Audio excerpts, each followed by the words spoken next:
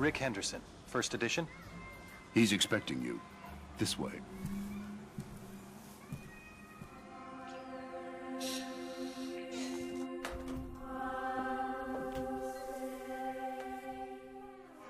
Rick Henderson.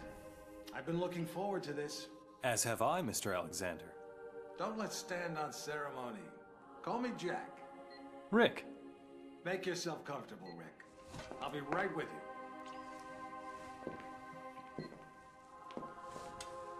I admire your work. Real journalism. Thanks. I thought we'd start with your thoughts on the White House attack, then discuss your tenure as director of the FBI, post-retirement reflections, whatever, and... Rick. Or if you want to sound off on politics. Rick. My apologies. This interview about me is just a cover for a more sensitive story. I'm sorry to have lured you here under false pretenses, but I couldn't risk a leak.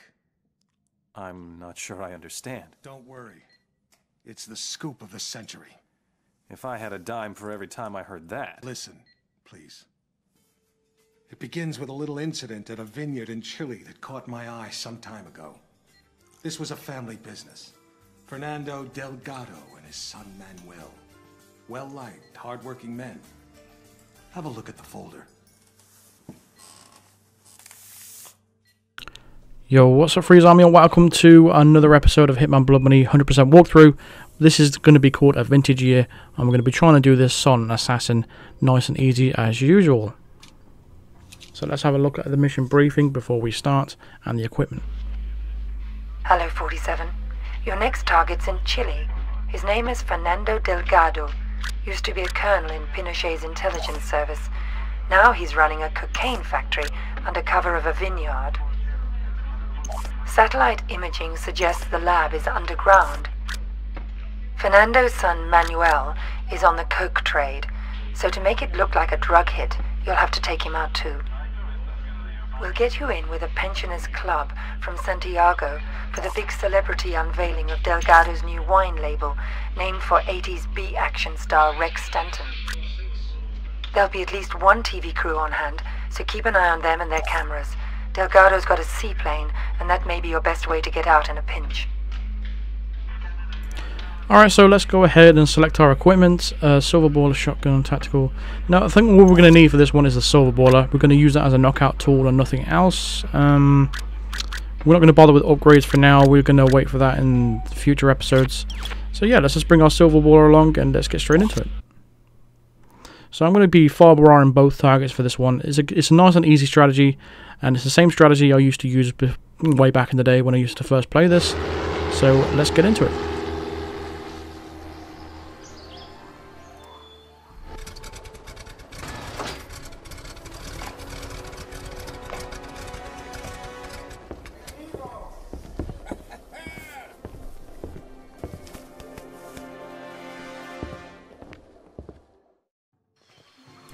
Now the great thing about Hitman Blood Money, there was there's so many different ways of doing things, but uh, for this way, uh, the first thing you're going to need is a disguise. I'm going to go grab this guy right here, and the best way to do that is go and pull out your silver baller, run up to him, and use him as a, a hostage, and just knock him out with a gun. We're going to grab his disguise right here, and then we're going to go ahead and uh, get inside. I'm going to take out Delgado's son first. It's a nice and easy strategy I found. As long as you're quick, obviously. But as long as you've got this disguise, you can run through all this section without any uh, any hassle or trouble. So he's going to be taking a line of cocaine on a uh, table, just around behind this wine cellar right here. And that gives us an opportunity to create a distraction. So we're going to pull out our coin, our trusty coin, and we're just going to throw it in the corner over here. And that, that should create a... Okay, he ignored it. Let's try again. throw another coin. There we go. Fucking pick that up. Go on. Alright. So you can go ahead and take them out any way you want to, really. I'm going to use the fiber wire for this one, nice and traditional. Alright, come on. Let's do it. Click, click, click, click, click, click. What's going on? There we go. That's a little bit buggy there. I was just spamming that, but it wouldn't work. Alright. And there's a nice, convenient crate right next to us. We're also going to grab that TMP. Going to just holster that. Yeah, we're going to use the uh, convenient crate that's next to us. Dispose of that. Close the lid. And that's one target down. So we've got the one more target to go. And again, it's nice and easy. As long as you're in this disguise, it's pretty much the best disguise in this level, I think.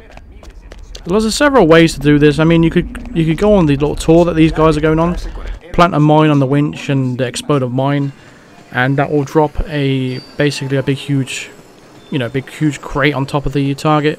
But that just requires a lot of waiting around, and I don't really want to do that. So I found running through this section here with this disguise is best. Climb up this pipe right here. And there's going to be a guard patrolling the area. Now once we get up here, sometimes he can see you depending on where he is.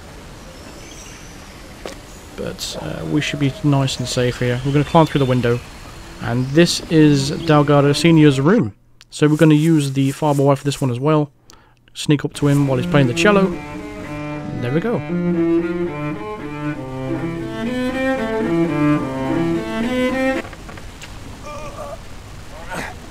I love that you can actually take out people while they're sitting in a chair. On the current Hitman, you can't actually do that, which is really annoying.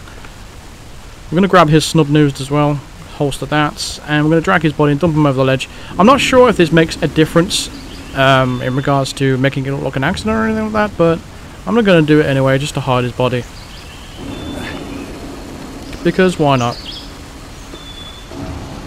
Now that's two targets down. Uh, all we've got to do now is retrieve our suits and get out of here. So we're just going to go back the way we came, retrace our steps, go back to the guard that we knocked out right at the beginning of the mission, retrieve our suit and head straight to where the seaplane is.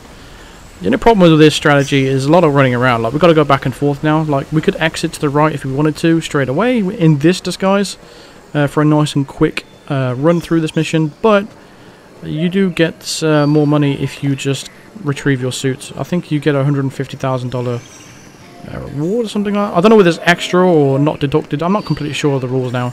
But I do know that you do get uh, less money if you don't retrieve your suit. So we're just going to go ahead and do that. Plus it makes us look more professional anyway. So, you know, why not? So now we've got this disguise now, uh, our suit back, we can go ahead and circle around the map and head towards the seaplane. Again, like I said, strategy was easy, nice and simple. It is only the first mission though, it will get a little bit more difficult in the future missions, and uh, yeah, but this I found this one to be quite reliable. Just going through this, and you look at the side of the map, it actually is quite big. I mean, look at the back of the background and things like that. This actually is a huge map, really, when it comes to uh, the artwork and stuff. I love it. It sets the atmosphere perfect. I love the atmosphere in this game. It's definitely what sold it for me. The graphics aren't living up to today's standards, but overall the atmosphere and everything and how the game works and mechanics, it's just brilliant. I love this game.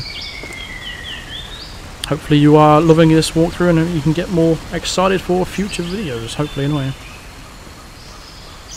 This is a bit of an annoying part though, all the way down this section here. I think there's an elevator you can get through the chemical lab, but uh, obviously we can't do that with our suit. Can ignore this guy, he doesn't bother with you anyway. There's going to be a guard here at the end here. We're just going to push him off anyway, just in case.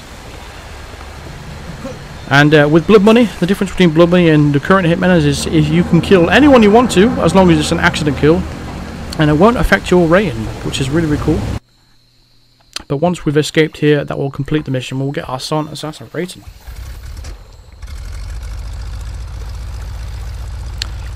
Bish bash bosh, bing bang boo.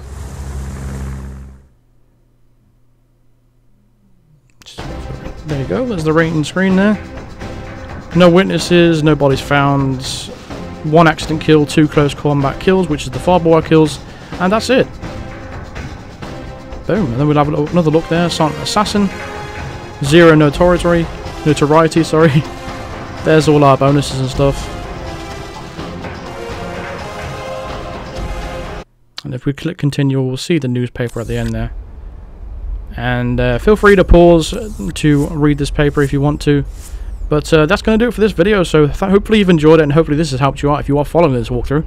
Thank you very much for watching guys, and feel free to drop a like on the video, subscribe here if you are new to the channel, and I'll see you guys in the next video. Cheers.